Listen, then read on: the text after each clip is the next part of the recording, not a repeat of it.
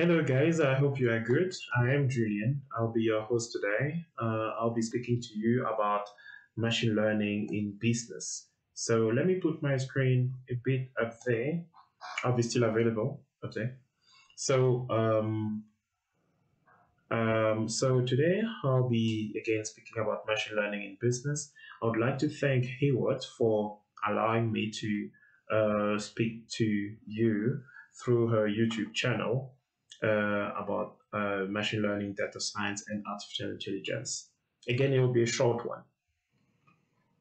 All right, so let's go. Who am I? I am Julien, and um, I'm basically yeah, this is me here, and that's my that's basically my LinkedIn profile. So I'm a software developer and a data scientist at uh, working at Intellect. That's my base company. I have been deployed in a in a bank called Standard Bank in South Africa, where I do. Um, I'm in a team where we do uh, data data engineering, software engineering, code optimization, uh, reading a bit of machine learning code, and uh, I'm also building some Python APIs, like pretty nice things to do. Um, also, my loose time part-time lecturer at the University of, of, of the Witwatersrand uh, where it's like, uh, yeah, I'm a part-time lecturer at the University of Witwatersrand, where I lecture basically introduction to computer programming using Python and C++.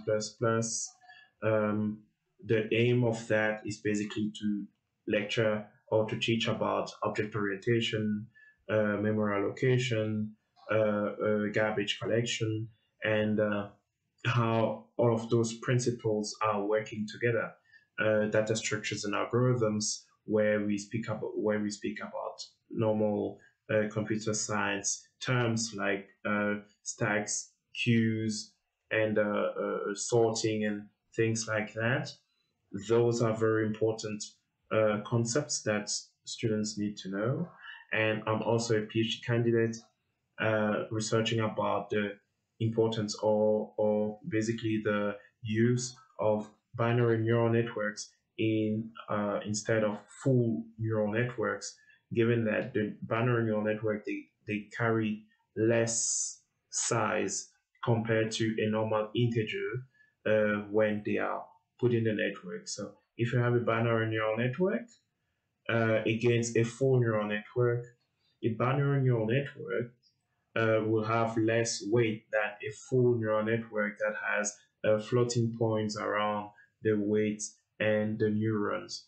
The problem is it doesn't have that much uh, this that much flexibility as a floating number.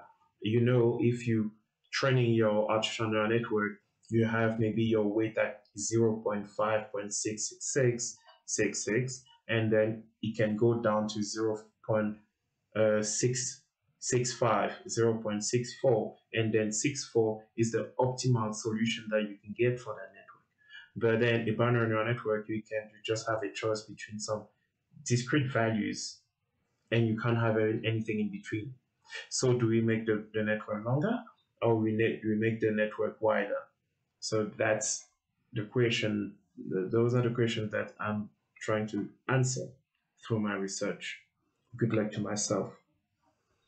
Okay. As you know, machine learning is that activity where um, basically the computer learns by experience, right? Uh, as you can see here, the experience is basically the data. The processing is a function that uses the data and a bit of noise so that we don't make the computer think that the world is perfect. And um, we have, at the end of the day, some predictions, like what the machine learning was there for. It will be there for predictions. And these can be the data, it can be images, text, um, voice signal, uh, and then some machine learning uh, uh, uh frameworks. We have TensorFlow, we have Keras, Scikit-learn, Gluon, MXNet, uh, uh, Theano.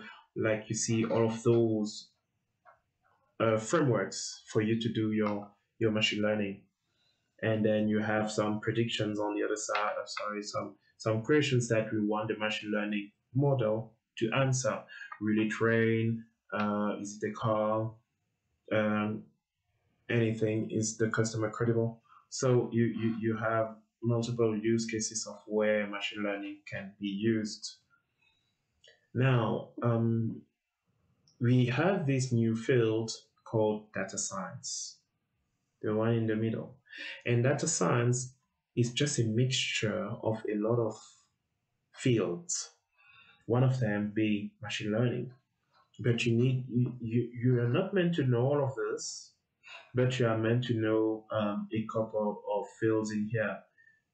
Statistics, right? You need to know a bit of your statistics that will go through your normal distribution and your your your a bit of statistics and probability, how to take some sample of data, how to interpret that sample of data, how to sample out of some data and how to to do some analysis, some statistical analysis on the data, right? You need to be able to write some complicated, a bit of complication in your code, not to make your code complicated, complicated for free, but then you need to be able to write Python code so that your model can be used outside your Jupyter notebook. You need to have a bit of communication skills uh, so that you can transfer your idea to the client or you can receive the idea from the client. Those are communication skills that you need to understand and also traditional research, right? Because as a data scientist, do not forget that you're also an academic in some point of view. So if a a, a model is deprecated or there's a better model outside, then you need to go outside and do your research and take that new model and use it. Also, your database skills should be on point. That for sure. You need to make sure that you understand your databases well. All right. As a data scientist or as a data person, because as you can see on your left here, you have a lot of opportunities in data science like data analyst, data analyst, um, data engineer, data scientist, uh, data architect. Uh, uh, you have your statistician, your machine learning engineer. So yeah, you have those ones to do uh, most of these activities. One of them is dashboarding. Uh, you have your normal Power BI, your Spark, your Hadoop, your Python, okay, they all work under Python. And then you, you need to have a bit of cloud capabilities, which are your normal AWS or GCP, Google Cloud Platform, or Microsoft Azure. You need to understand those platforms so that your your machine learning model can be hosted safely in the cloud. All right. So unfortunately, you have my image that will block uh, velocity up there, but then here we're speaking about the velocity of the data, how the data travels from one side to the other. Then we either have real-time, batch, or stream of data, right? Whereas real-time and stream can be almost the same thing. We have the volume of data where um, the amount of data going from one stream to the other one and the amount of data stored at a single place uh, at a particular given time. And then we have the variety of the data that can be structured, unstructured, or semi-structured. We call them the three V's, variety, volume, and velocity. But then when we go ahead with that, you have the structured data that is your normal SQL, DB, your normal Postgres, DB, where uh, you have your columns, right, and your rows. And a row will define all the columns, right?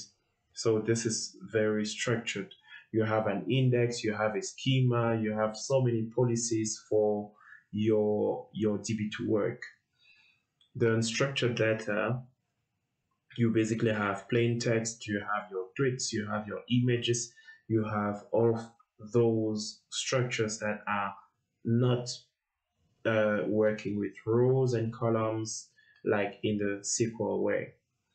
And then you have your your CSV or your JSONs that are semi-structured. So they do not have any schema enforcement, but then they they, they some sort of audit, right? They they do a bit of ordering in the way they keep the data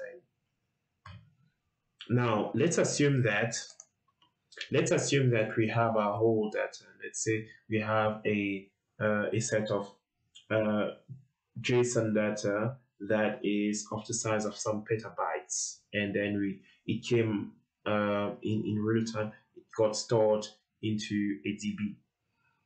Now um, we have that those petabytes of data. It's like that's a discussion about big data. So big data, it's where again it's debatable. It's basically where all that data cannot be processed at this in a single computer. We need to basically use a cluster of computers to deal with those uh, that that that big instance of the data. For this instance, I will use uh, a South African bank called FNB. It can be any other bank. It can be uh, uh, I forgot the name of that bank, the Bank of Ethiopia, I guess. So um, let's assume that is any bank of in Ethiopia, and uh, we're trying to understand what the people in Ethiopia are buying the most using their credit cards, right?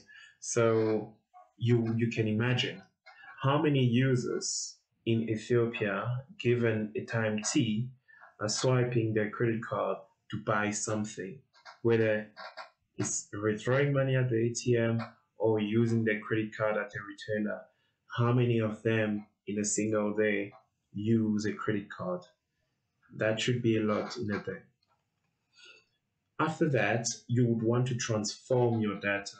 So you want to make sure that your, your, your data is not at an explicit state where if someone steals it, it will compromise the, both the company and the user. And we wouldn't want to do that. So we want to uh, make some columns. We want to remove some columns. We want to encrypt some columns. We want to mask some values so that we just get what we need to do with our model. And after that, we have two use cases that we can use in the in the data.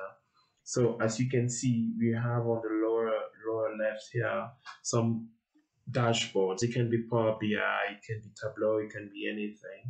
But then that dashboard is basically telling you what is the current um, the current trend happening in the user space what is the product that is mostly bought by the users? Where are the users buying them? How are they buying them? What is the volume of the way the users are uh, are buying most of those products. And after that, this is done mostly by the data analyst or statisticians, and then they can push their uh, basically their their um, their findings to the machine learning uh, sorry to the data scientists who basically write the models and then those models will be then deployed by the machine learning engineers who will go through with that code, understand the code, and make it go through uh, a, a production pipeline. All right. So um, here you would see on the left side of the screen, you have a lot of retailers. Most of them, a lot of them are South African and some of them are international like Nando's. You have international Nando's, KFC, right? And then you have some other shops here that are playing South Africans like uh, uh, Cambridge and Pick n Pay and uh, uh, Takealot. So let's assume that we would like to investigate the usage of the credit cards in all those shops during um, Christmas. Yes, so what what what usually happens is most of those users, yeah, right, they or most of those companies they can store the data in any any format they want, and then they can store it um, in like I said in any format. It can be in Excel, it can be in JSON, it can be in SQL, Mongo, uh, anything. Our job as data engineers is just to take that data and then aggregate it somewhere in a centralized place where uh, the data is normalized. So we wouldn't care where the data is coming from. We just care about the data being at a single place. We can say uh, KFC will have, we, we, we will make it uh, structured or semi-structured, but we'll not leave it unstructured. So if we decide to go JSON, then we'll say KFC has these particular keys, uh, Nando's has those particular keys, and the other shops they will have some different keys, or they will have rows and then they will have columns. And after that, um, we will be uh, either selling those that data to the banks. These are the uh, one of I mean like the the big four banks in South Africa. Uh, they are not the only ones. There are a couple more, but those are the main banks that uh, we have here in South Africa, and they basically use all of that data to create new products and sell it to clients or produce it to clients so that they have better a better life with banking. All right.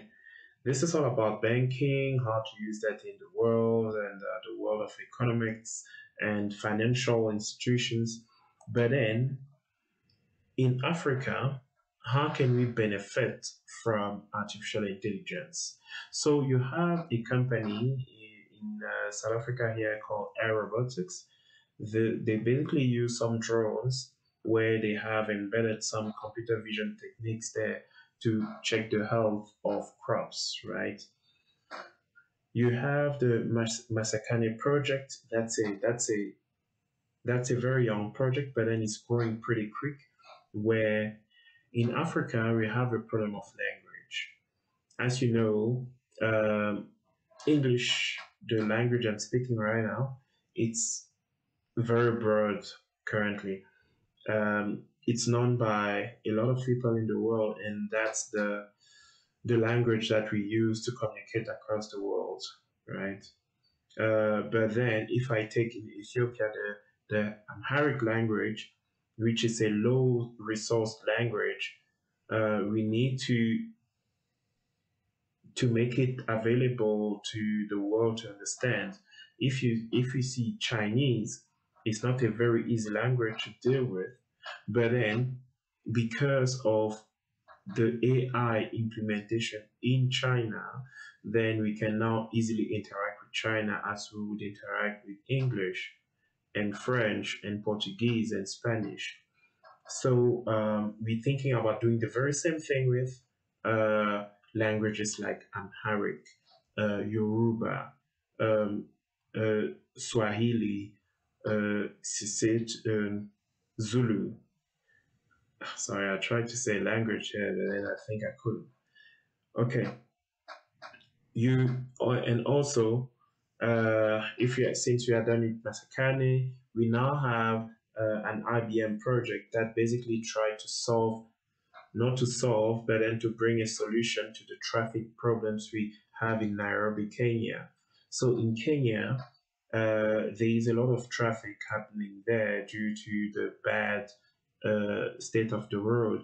So this project headed up by Dr. Walcott, uh, it has an aim of working with the officials of the of Nairobi uh, to make sure that we we can fix the road using telematics and any other um, uh, technique that would help us to fix that particular problem in that country or in that particular city, which is Nairobi.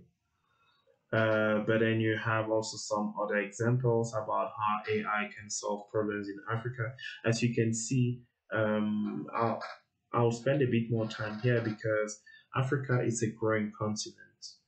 Um, it's one of the oldest, it's the oldest continent, but then it's a it's a growing continent because we have a lot of potential potentials in here, like uh, the language, for instance. We, we, we have a lot of languages that are uh, not explicitly known or explicitly uh, taught or or, or, or shown to the world, whereas the other languages are very well uh, understood by us. So maybe AI through uh, maybe the Masakhane project will help those languages to be discovered to the world so that when you go somewhere else, you speak their language and then you'll be easily understood while you keep your your roots and uh, your wherever you come from. Then you don't have to to always uh, try to to keep foreign languages. I'm not saying that you shouldn't learn foreign language, just but our language as well are foreign to some others. But then our languages will be now better known outside.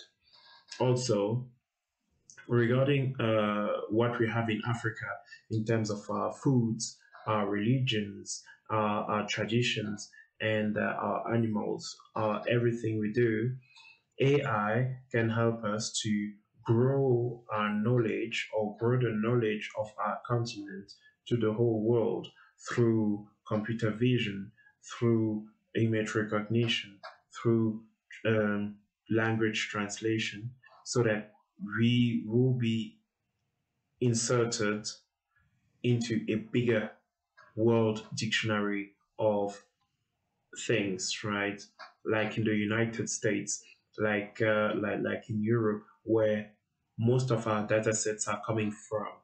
Then we need to build also our own data set so that it can be merged to the broader world. That's basically how AI can contribute to the evolution of Africa. Why does someone have to be interested into AI or DS or ML? Because AI is a very hot topic today. Um, people tend to go to AI because uh, it's very interesting.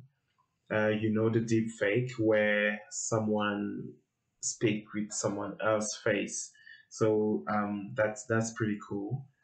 Um, and also, today you do not have to write complicated lines of code uh, in in this sense where in the past, if you needed to, uh, for example, uh, I would like to to describe this number as nine. So this is nine.